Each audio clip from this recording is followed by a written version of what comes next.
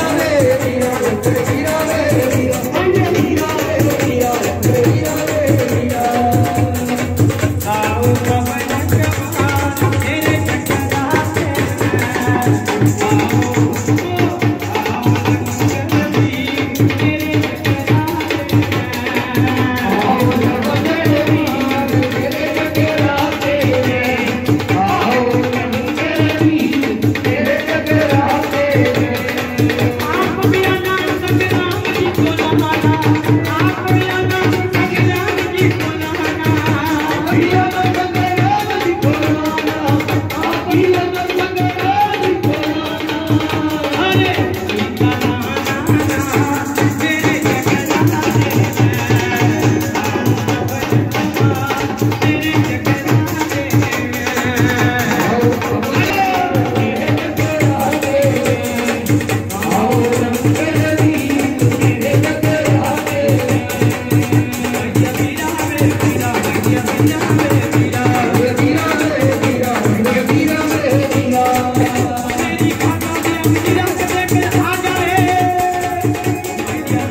Hare Krishna,